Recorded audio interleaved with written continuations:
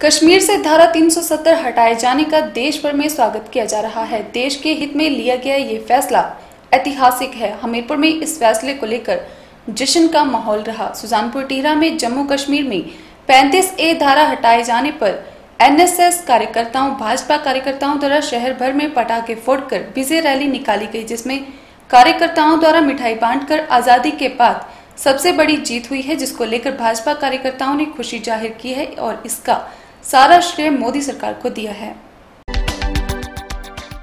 जम्मू कश्मीर से धारा 370 हटाए जाने का देश भर में स्वागत किया जा रहा है।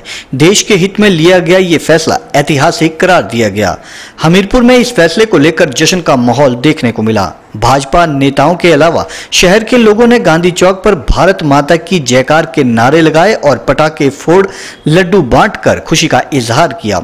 इस मौके पर राष्ट्रीय स्वयं सेवक संघ के हिमाचल सह प्रांत कार्यवाहक चंद्र प्रकाश ने धारा 370 को हटाने को अराष्ट्रीयता पर राष्ट्रीयता की विजय करार दिया। इससे पूर्व सभी कार्यकर्ताओं ने मृदुल चौक पर शहीद मृदुल की प्रतिमा पर पुष्प चढ़ाकर व दीप प्रज्वलित करके उसे श्रद्धांजलि दी। उसके उपरांत गांधी चौक तक विजय रैली भी निकाली गई।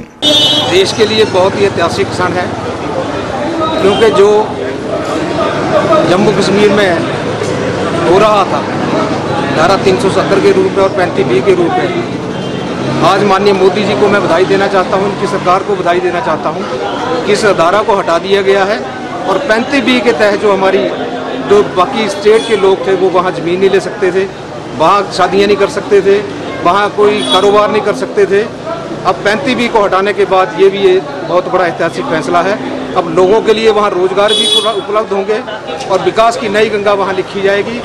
और जो दो दो स्टेटें बढ़ा दी गई हैं, एक लद्दाख को और एक जे एंड के को।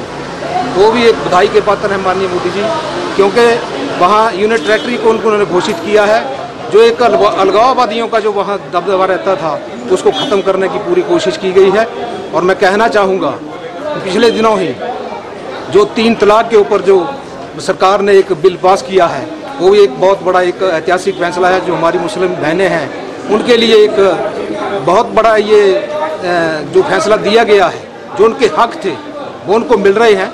क्योंकि पहले क्या होता था कि तीन तलाक अगर फ़ोन पे भी बोल दिया या बरबली बोल दिया तो तलाक माना जाता था। तो क्या जो औरत है हमारी, महिला औरत है, अपना जो मुस्लिम औरत है, क्या उसको डस्टबिन के रूप में यूज़ किया जाता था? वो वो भी एक बहुत बड़ा फैसला दिया गया है। मैं आज केंद्र सरकार की और जनता को बधाई देता हूँ। केंद्र सरकार का बहुत बहुत धन्यवाद प्रकट करता हूँ। वहीं हमीरपुर क्षेत्र के विभिन्न उपमंडलों में भी धारा 370 हटाए जाने पर जश्न मनाया गया। सुजानपुर में नगर कार्यवाहक सोमदत्त शर्मा के नेतृत्व में लोगों ने पटाखे चलाकर व मिठाई बांटकर अपनी खुशी का इजहार किया।